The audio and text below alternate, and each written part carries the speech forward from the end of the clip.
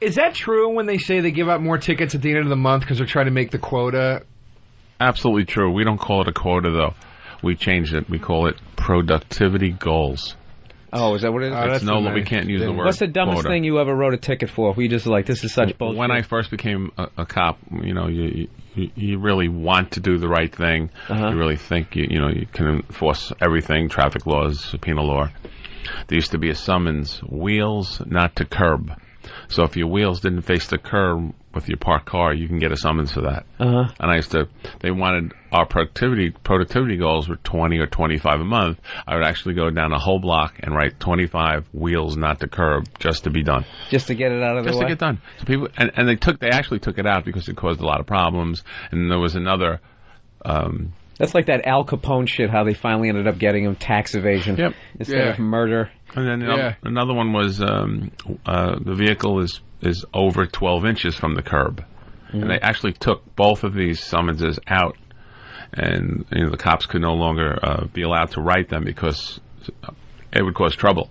The people would Right. come out and can't believe it, and then it would escalate. It would always, and they, they look at it. It would spiral and escalate into something it shouldn't. Let's take these out of there because they are, after all, they are really stupid, and we see that. It's it, some cops are, are forced to make an arrest stemming from a stupid summons. The people Right. would come out, or they come.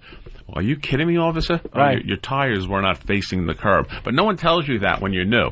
Right. You, you learn. You really learn. But you had to admit, when you're walking down the street, you know you're kind of like. oh, I know. I, Were you, know, laughing? Did you go back to the like the police house I- and you start cracking up? Well, No. I'm done for the day. No, well, I'm I'm done. Then you you know I'm I'm done. I'm you know it says on the card that I could do that. It says Uh-huh. right there. Take me. You take your nightstick out, and you know that the the car is over 12 inches from the the curb, and you just or the wheels are pointing out. You do the Boss Hogg shit, putting down the fake fire hydrant. That's, and there is no that's 200 bucks right there. Geek, geek, geek.